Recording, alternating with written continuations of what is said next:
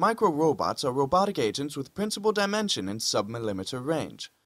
Micro-robots have been proposed for numerous applications, ranging from minimally invasive surgery to environmental monitoring.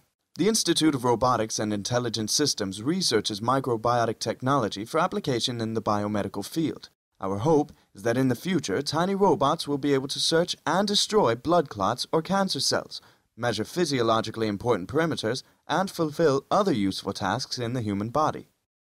One of the primary challenges of building wireless mobile micro robots is the design of an onboard power and propulsion system. Due to difficulties in storing energy at these scales, mechanisms are needed for harvesting energy from the environment for wireless applications.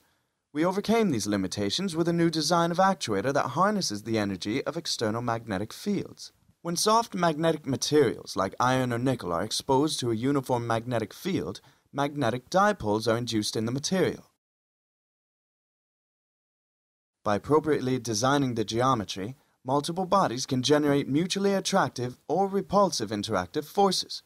When one of the bodies is attached to a spring, an oscillating system is formed which can be powered by an external oscillating magnetic field.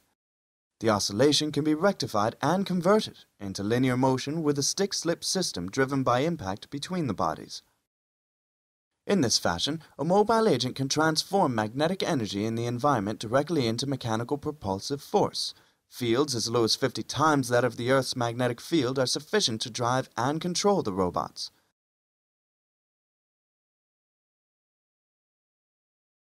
When driving on an engineered substrate, Robots using this technology have been demonstrated to turn in place and move forward and backwards with speeds exceeding 1 centimeter per second.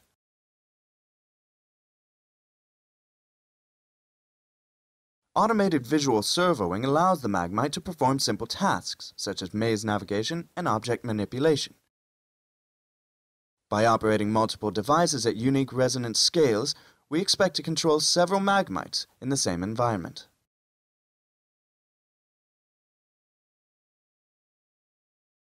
This new class of actuators provides a promising technology for developing the next generation of multipurpose wireless devices and mobile robotic devices at the micro scale.